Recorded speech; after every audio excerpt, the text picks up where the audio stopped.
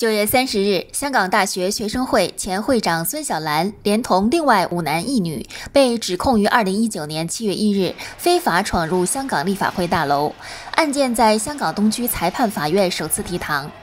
七人分别被控以进入或逗留在会议厅范围罪，其中有人另被指控刑事毁坏及参与非法集结等罪名。被告暂时无需答辩，案件押后至十二月十三日再审讯，等待警方进一步调查。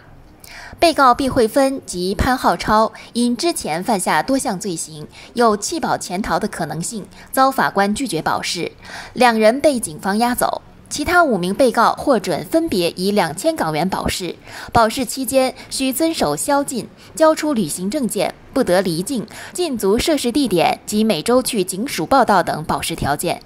七名被告分别为：二十岁学生黄家豪、十九岁厨师罗乐生、二十九岁车房工人周乐谦、二十一岁运输工人何俊年、二十四岁无业的毕慧芬、二十三岁无业的孙小兰及三十一岁无业的潘浩超。香港城市大学学生会编辑委员会委员黄家豪另被控在立法会大楼内刑事毁坏一本属于香港特区政府的基本法，警方在印刷品上找到他的指纹。